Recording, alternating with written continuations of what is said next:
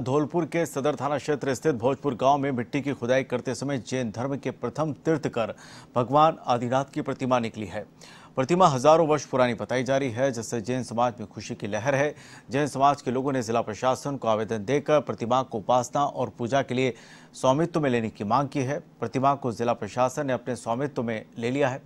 प्रतिमा का ताल्लुक किस देवता और भगवान से है, इसके लिए प्रशासन ने जाँच शुरू कर दी है।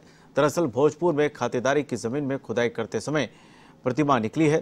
प्रतिमा को लेकर कुछ लोग इसे बौद्ध समाज की मान रहे हैं तो कुछ लोग जैन समाज से बता रहे हैं। फ़िलहाल जिला प्रशासन और पुरातत्व विभाग ने प्रतिमा को अपने स्वामित्व में ले लिया है।